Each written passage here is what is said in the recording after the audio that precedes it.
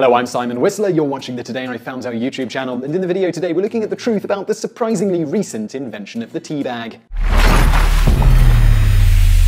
Legend says the brewing tea dates back to around 2737 BC when tea leaves fell into water being boiled for Emperor Shennong of China. There does not appear to be any hard evidence of tea being discovered this way, but evidence we do have suggests that brewing tea did indeed likely start in China, first as part of a medicinal elixir. The first documented reference to this is found during the Shang dynasty from 1600 BC to 1046 BC. By the Qin dynasty in the 3rd century BC, it had become a relatively popular drink using just the tea, Camellia sinensis, rather than mixed with other things, as seems to have been common when used medicinally. From the beginning until the early 20th century, very little innovation came about in terms of the common method of brewing tea.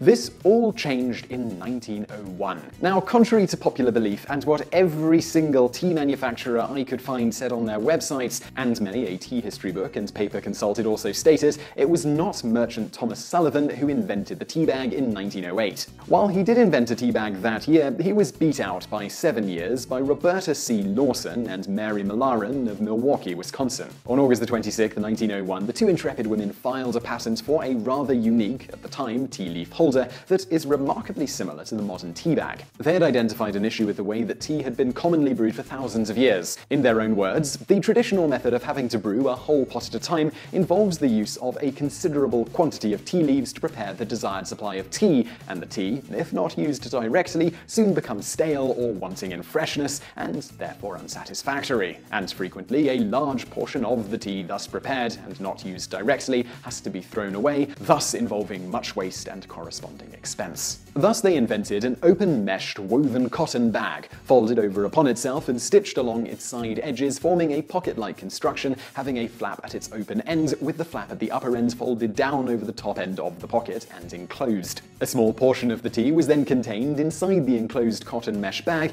and allowed the preparer to place it in a cup and have water poured thereon to produce only a cup of tea fresh for immediate use. By this means, only so much of tea leaves is used as is required for the single cup of tea, and thereby a fresh cup of fragrant tea is prepared. About two years after the ladies filed their patent, it was granted on the 24th of March 1903. However, seemingly they were unsuccessful at bringing this to market, at least on any widespread scale that would have registered in documented history.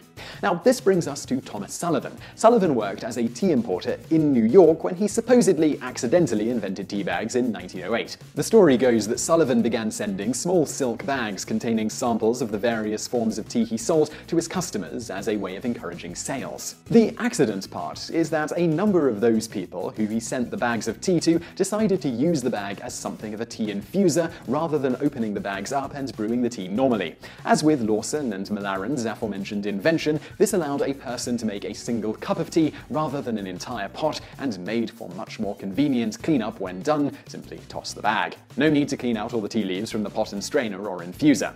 The little marketing campaign worked, and orders started rolling in which Sullivan initially filled via standard containers of loose leaf tea. Customers who had used the bags as infusers complained, and Sullivan soon began offering his tea once again in bags.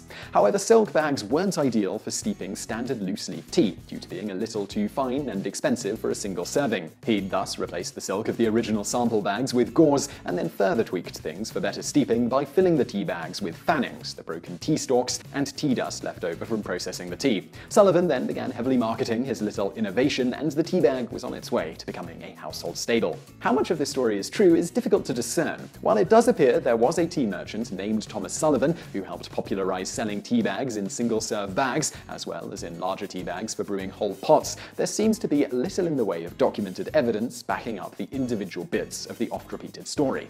Whatever the case, we do know that commercial tea bags in the early days were, on the whole, not as good as Roberta Lawson and Mary Malaran's original design, other than perhaps the later addition of a string to pull the bags out of the hot water when steeping was complete. You see, early bags often used glue to seal the tea in rather than a folded, sewn bag. This glue then steeped along with the tea, greatly affecting flavor. Various early fabrics also often negatively impacted the taste. However, despite many companies early designs being less than ideal at producing the desired taste, convenience won out, and partially thanks to World War I, with certain country soldiers being given tea bags as part of their rations, the tea bag began to rise in popularity significantly by and then during the 1920s.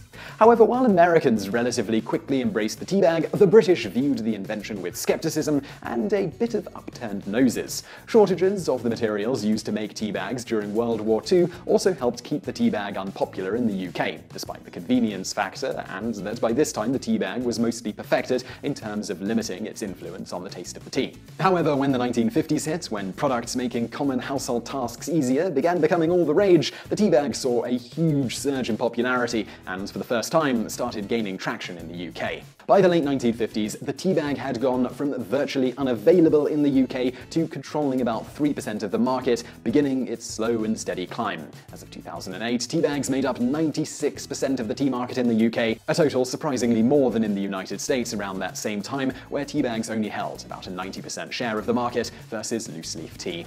So I really hope you found that video interesting. If you did, please do give us a thumbs up below and don't forget to subscribe if you haven't already. Also, over there on the right are a couple of other videos you might enjoy if you enjoyed this one, and thank you for watching.